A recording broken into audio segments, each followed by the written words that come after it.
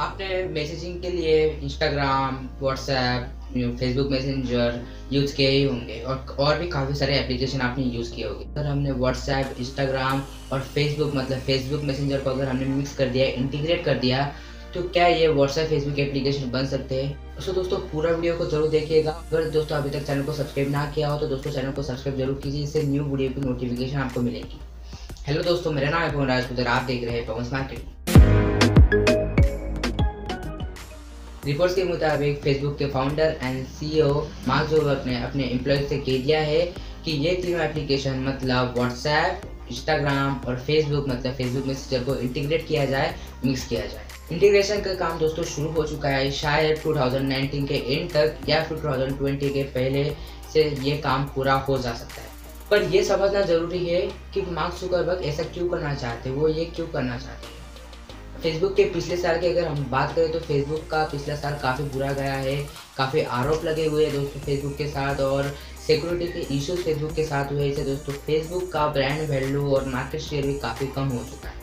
इससे दोस्तों काफ़ी सारे फेसबुक के एक्टिव यूज़र कम हो चुके हैं। काफ़ी लोगों ने तो फेसबुक अकाउंट को डिलीट ही कर दिया है। अगर दोस्तों आपने भी डिलीट किया है तो कमेंट करके ज़रूर बताएँ। तो ऐसे में फेसबुक बाउंस बैक करना चाहता मार्केट में फिर से फेसबुक आना चाहता है। अब इस को समझ लेते हैं एक्चुअल में ये प्लान है क्या? के अंदर दोस्तों व्हाट्सएप इंस्टाग्राम और फेसबुक मतलब फेसबुक मैसेंजर को इंटीग्रेट किया जाएगा। और दोस्तों, यहाँ पर मार्क जुकरबर्ग आपको end to end encryption chat service देना चाहते हैं। मतलब कि आपने अगर किसी को मैसेज सेंड किया तो जिसको सेंड किया वो बंदा और आप ये दोनों ही इस मैसेज को पढ़ सकते पूरा इन टू एंड इरप्ट होने वाला है दोस्तों। मतलब ये फीचर दोस्तों सिर्फ़ व्हाट्सएप में ही अवेलेबल था। फेसबुक मैसेंजर के आपको मैनुअली इनेबल करना पड़ता था और इंस्टाग्राम में तो दोस्तों ये फीचर है ही नहीं। तो ये पूरा एक सिक्योरिटी पर्पज मतलब आप जो भी चैट करो, जो किसी को कोई कुछ भी सेंड करो, वो कंपनी ना देख पाए, सिर्फ़ आप दोनों देख पाए। तो ये फीचर आपको मार्क्स कर देना चाहते अब ये इंटीग्रेशन करने के दोस्तों, इन्हें काफ़ी सारा कोर कोडिंग चेंज करनी पड़ेगी, क्योंकि फेसबुक मैसेंजर और इंस्टाग्राम और व्हाट्सएप दोस्तों अलग अलग पर्पज़ के लिए यूज़ किए जाते हैं अलग अलग उनके ब्रांड वैल्यूज़ है अलग अलग चीज़ों के लिए दोस्तों लोग यूज़ करते हैं। तो ऐसे में अगर इन तीनों को इंटीग्रेट की बात है तो काफ़ी सारे कोडिंग चेंजेस और काफ़ी सारा समय भी लगने वाला है टेक्निकल इशूज़ आने वाले हैं टेक्निकल एफर्ट्स लगने वाले हैं। इससे इससे फ़ायदा ये होगा दोस्तों, ज़रा सोच के देखो कि अगर आपके पास व्हाट्सएप है और सामने वाले व्यक्ति के पास फेसबुक मैसेंजर है तो यहाँ पर दोस्तों आप व्हाट्सएप और फेसबुक मैसेंजर से चैटिंग कर सकते हैं, बातें कर सकते हैं। यहाँ पर आप फेसबुक मैसेंजर और व्हाट्सएप के साथ बात कर सकते व्हाट्सएप और इंस्टाग्राम के साथ बात कर सकते हैं और इंस्टाग्राम फेसबुक मैसेंजर के साथ बात कर सकता है। मतलब ये तीनों एप्लीकेशन अपने अपने जगह पे रहेंगे अपने अपने इससे यूज़ आप कर सकते हो। मतलब ये एप्लीकेशन से आप कोई बंदा अगर व्हाट्सएप है तो व्हाट्सएप पे उसको आप फेसबुक मैसेंजर से मैसेज सेंड कर सकते हो। इंस्टाग्राम मैसेज से व्हाट्सएप पे मैसेज सेंड कर सकते हो। तो ये इसका फीचर रहने वाला है। जैसे कि दोस्तों आपको पता है फेसबुक के 2.2 बिलियन से ज़्यादा एक्टिव यूज़र है। व्हाट्सएप के 1.5 बिलियन से ज़्यादा एक्टिव यूज़र है। इंस्टाग्राम के वन बिलियन से ज़्यादा एक्टिव यूज़र है। मार्क जुकरबर्ग इन सभी यूज़र्स को इंटीग्रेट करना चाहते हैं, एक करना चाहते हैं। तो बात यहाँ पर यह आती है, ये मैसेजिंग की सर्विस इंटीग्रेट करने के लिए, ये सर्विस देने के लिए, ये सब ये क्यों करना चाहते हैं? देखिए दोस्तों, यहाँ पर कंपटीशन काफ़ी ज़्यादा हो गया है, काफ़ी लोग आई मैसेज यूज़ करते हैं एप्पल यूज़र गूगल के कुछ प्रोडक्ट्स है दोस्तों मैसेजिंग के लिए, और भी टेलीग्राम हो गया, और भी काफ़ी सारे एप्लीकेशन है मैसेजिंग के लिए, और ये समय यहाँ पर कॉम्पिटिशन बढ़ते जा रहा है।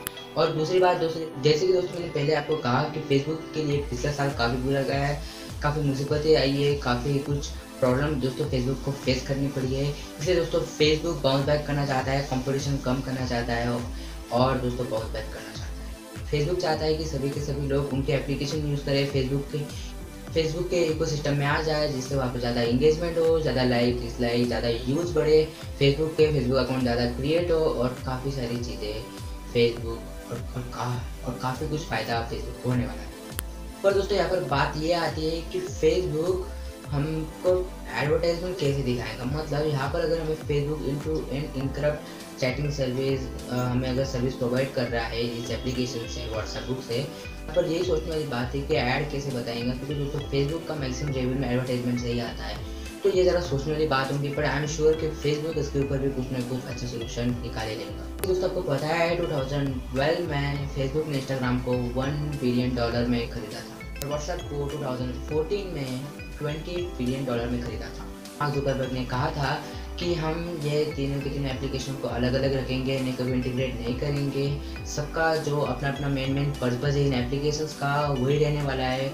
हम इसकी न्यू टीम बनाएँगे, सब कुछ अलग अलग हम रखेंगे, हम इंटीग्रेट नहीं करेंगे। पर मुझे ऐसा लगता है कि मॉडर्न टेक्नोलॉजी की वजह से, और दोस्तों फेसबुक को तो व्हाट्सएप से कुछ भी अर्निंग होती नहीं है तो ऐसे में यहाँ पर व्हाट्सएप से भी थोड़ी बहुत अर्निंग हो जाएँगे तो फेसबुक इसलिए इनको इंटीग्रेट कर रहा है। तो दोस्तों मुझे कमेंट करके ज़रूर बताएगा कि क्या आपको मार्क का ये आइडिया अच्छा लगा, नहीं लगा। और दोस्तों मुझे ये भी बताया कि आप फेसबुक मैसेंजर व्हाट्सएप या इंस्टाग्राम दोस्तों इनमें से कौन सी सबसे ज़्यादा एप्लीकेशन आपको पसंद है और आप यूज़ करते हो दोस्तों कमेंट ज़रूर करें। आज के दोस्तों, इतना ही अगर दोस्तों, वीडियो पसंद आया तो दोस्तों प्लीज़ लाइक करो जिससे दोस्तों मैं मोटिवेट हो सकूँ। और दोस्तों, मुझे सपोर्ट करने के लिए और न्यू वीडियो के लिए सब्सक्राइब करो चैनल को लाल बटन पे, जिससे न्यू वीडियो नोटिफिकेशन मिले। और दोस्तों लाइक और शेयर ज़रूर कर देना अपने फ्रेंड के साथ। Thank you so much